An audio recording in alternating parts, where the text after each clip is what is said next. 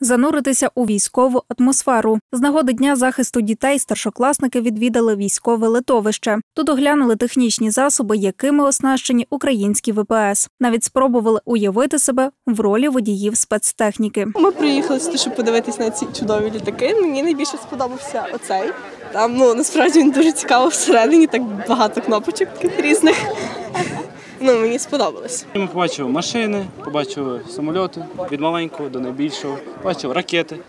Розказали нам про все, що ну, може тут бути. Авіатори показали також дітям стоянки літаків Міг 29 та Л 39 А ще учасники акції спостерігали за роботою кінологів. Для старшокласників розгорнули справжню польову кухню. Організатори акції вважають, необхідно розвивати патріотизм серед школярів, які незабаром стануть призовниками. І щоб вони були задоволені, вони бачили, що таке військова служба, адже зараз ми е, захищаємо наші кордони нашої держави у боротьбі з Росією, щоб діти бачили і на майбутньому хотіли ставати військовими офіцерами і захищати нашу рідну неньку Україну.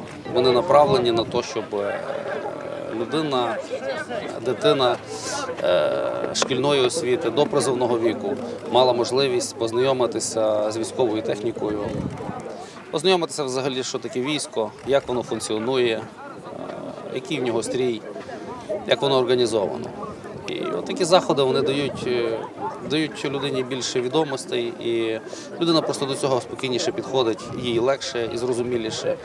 І десь хтось може і вибір в майбутньому зробити. І не лише розвагами. Така екскурсія наочно продемонструвала школярам, як служать захисники українського суверенітету і яким озброєнням володіють. Роксолана Бабій, Світозар Савчук. Новини на вежі.